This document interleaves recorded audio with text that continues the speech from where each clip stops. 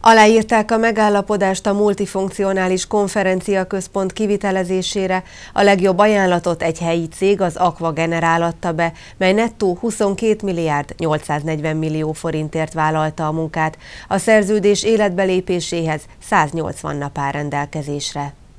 Igen, hát talán ott a fák magassága. Ezekkel a látványtervekkel szemléltette Katona Imre, hogyan fog majd kinézni Hajdúszoboszló multifunkcionális rendezvényközpontja, melynek kivitelezési munkáját az ő cége nyerte el. Ez egy 12.500 négyzetméteres komplexum, aminek a legmagasabb pontja 25 méter, három szint, közel 8 funkciót lát el, 10 lifter rendelkezik, 800 fő befogadására alkalmas meleg konyhával rendelkezik, és egy-egy rendezvények alkalmával 2000 ember is be tud fogadni.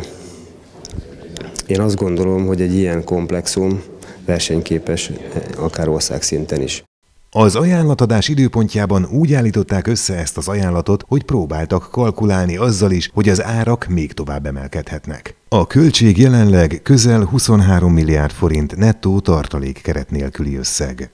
Hiszen egy 2500 tonna acél felhasználása esetén jelenleg, amikor látjuk, hogy a világban az acél ára hova mozog, és hogy egy hétre adnak nekünk árajánlatot, mint ahogy azt az államtitkár úr is mondta, nehéz kalkulálni, hogy egy három évig tartó kivitelezés során akár az acélszerkezet, de akár a burkolatok vagy a gépészeti anyagok is hova fognak drágulni. Ettől függetlenül, vagy ezt figyelembe véve, azért prognosztizáltunk, és jelen pillanatban, hogyha a szerződést megkötését követően egy pár hónapon belül el tudna indulni a beruházás, akkor idén már az első kapavágás is megtörténne, és mai naptól számítottan egy 30 hónapon belül át tudjuk adni az épületet. Katona Imre, mint helyi lakos és mint kivitelező úgy véli, hogy ezzel a fejlesztéssel Hajdúszoboszló egy újabb mérföldkőhöz ért. Én azt gondolom, hogy egy ilyen multifunkciós csarnok mindenképpen egy második láb a városnak, hiszen a fürdő egy nagyon fontos, hiszen a fürdővárosunk legnagyobb komplexuma az a fürdőnk, viszont ez a multifunkciós csarnok a rendelkezésre álló szállodák segítségével, azok kihasználtságával egy újabb lehetőséget nyit. Bodó Sándor országgyűlési képviselő kiemelte, hogy ezt a fejlesztési lehetőséget a lakossági igények, illetve a város fejleszthetőségének motivációja alapozta meg. Amikor végig gondoltuk, hogy mink van, és mit szeretnénk még, akkor teljesen egyértelmű volt, hogy ahhoz, hogy lépés, léptéket tudjunk váltani, annak érdekében egy ilyen rendezvényközpontra szükség van. Konferencia, turizmus és minden egyéb városi élhetőség szempontjából úgy ítéljük meg, hogy ez most egy minőségi változást tud eredményezni, ezért indultunk el az úton, és minden egyes állomásánál mindig van egy, egy értékelés, illetve egy, egy aktuális tervezés, hiszen a világ az azért változik körülöttünk, de mi az el, a mi elképzeléseink állandóak.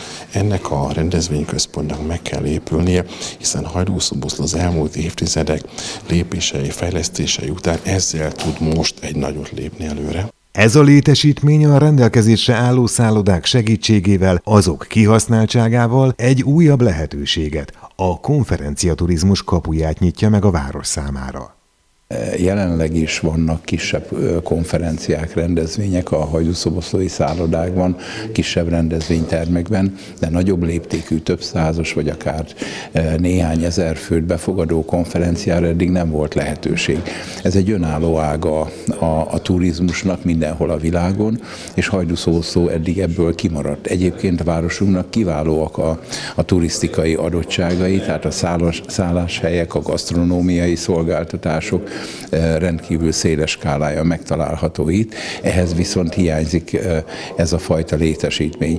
Ugye az egészségturizmus, a fürdőturizmusnak a feltételei a fürdőn keresztül adottak, most egy teljesen új önálló lába nyílna meg, amely egyben jól ki is egészíti a fürdőturizmusunkat, hiszen ha konferenciára valahova odaérkeznek a, a konferencián résztvevők, akkor ők ott a szabad idejükben nem csak étkezni és beszélgetni akarnak, hanem szórakozást is keresnek, és ilyen szempontból Hajdúszoboszónak nagyon jók az adottságai.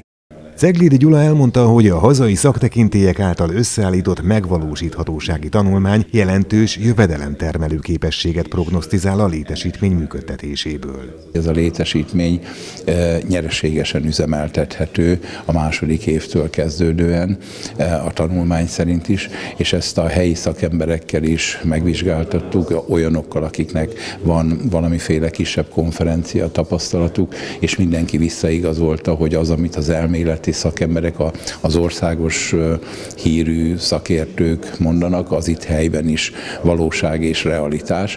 Tehát nem kell attól félni, ami időnként itt ott megjelenik a városban, hogy ú, mekkora teher lesz ez a városnak ez a fenntartása. Nem.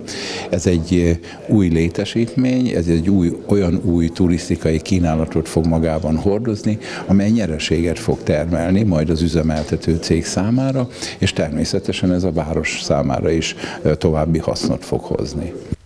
A szerződés akkor lép életbe, ha 180 napon belül rendelkezésre áll a megépítéshez szükséges forrás, ami jelen állás szerint 22 milliárd 840 millió forint. Amikor korábban ez a 8-9 milliárdos forint emlegetve volt, az egy, az egy hasraütéses szám volt, hiszen akkor sem a nagyságát, méretét, a funkcióit nem ismertük ennek a létesítménynek. Most itt azért néztünk néhány összehasonlító adatot, hogy ma Magyarországon hasonló létesítmények milyen áron kerülnek megvalósításra. Ez egy olyan e, közepes árnak tekinthető, viszont ahogy a kivitelező elmondta itt a beszélgetésben, a tervezők a legmagasabb minőségű anyaghasználatot írták elő, tehát e, magas 21. századi minőségű anyaghasználat lesz benne, és hát a szolgáltatási környezet is, akár a díszteremben, tehát a, ami a konferenciaterem lesz, akár a sportterületen, vagy éppen a fórum részen, mindenhol magas minőségű anyagokat használnak.